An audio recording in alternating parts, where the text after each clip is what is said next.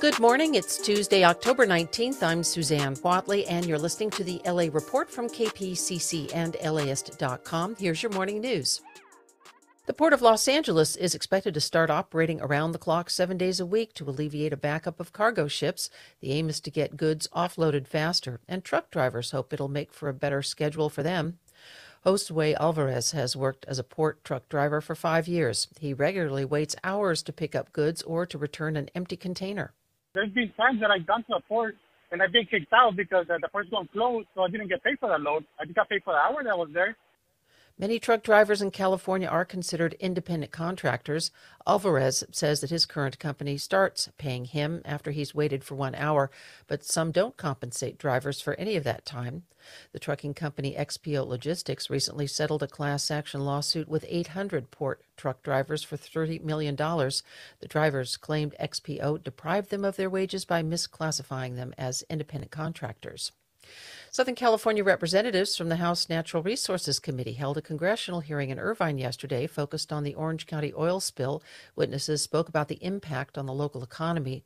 Scott Brenneman runs a commercial fishing operation and two seafood restaurants in Newport Beach.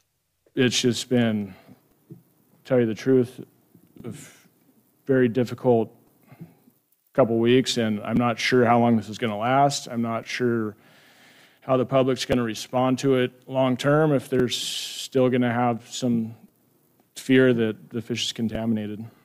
Other businesses, from surf shops to whale watching companies, have also reported negative effects on their businesses. For example, the cancellation of the last day of the Pacific Air Show hurt nearby hotels, stores, and restaurants. Congressmember Katie Porter co chaired the hearing and promised a full, fair, and complete investigation into the oil leak. Her colleague, Alan Lowenthal, called for an end to oil drilling as part of a $3.5 trillion spending bill that's currently being debated in Congress. The Dodgers are back at home tomorrow and heading into Game 3 of the National League Championship Series with two losses against the Atlanta Braves. Fans we heard from don't seem too worried about it. Vreni Palacios is a native Angelino and lifelong Dodger fan and doesn't own a television. She catches Dodger games at her local bar where she connects with the community and sometimes trash talks opposing fans. And that two game deficit, well, the Dodgers overcame something similar against the Braves in 2020. I feel like this kind of happens like every October, right? Like the nature of being a Dodgers fan. Another LA native and lifelong Dodger fan, Alvin Carrillo, agrees. Obviously, the Turners need to step up a little bit, but I'm not too stressed about that. Like, we have our downsides with that. So do the Braves. Obviously, I think Acuna's out for the rest of the year. He's talking about Justin Turner and Trea Turner with the Dodgers and the Braves, Ronald Acuna Jr. But according to Carrillo, the worst part about being down against the Braves is listening to TBS commentators hate on the Dodgers. Game time tonight at Dodger Stadium. Coronavirus booster shots for people who got the Moderna and the Johnson & Johnson vaccines may be approved by the end of this week. The Centers for Disease Control will meet Thursday and Friday to talk about formally giving the okay for a third dose. The Pfizer vaccine is already approved for boosters.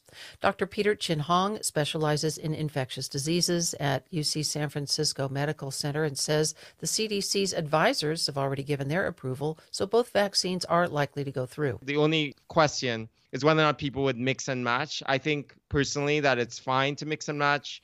And it seemed the data, at least, and with antibody response, seems very compelling with J and J followed by Moderna and Pfizer. Dr. Chin Hong is a regular guest on Air Talk with Larry Mantle. Encouraging pandemic numbers yesterday from Orange County. The county's healthcare agency says the number of COVID patients in hospitals is down to 175, a drop from 210 on Friday, and a number the county hasn't seen since late July.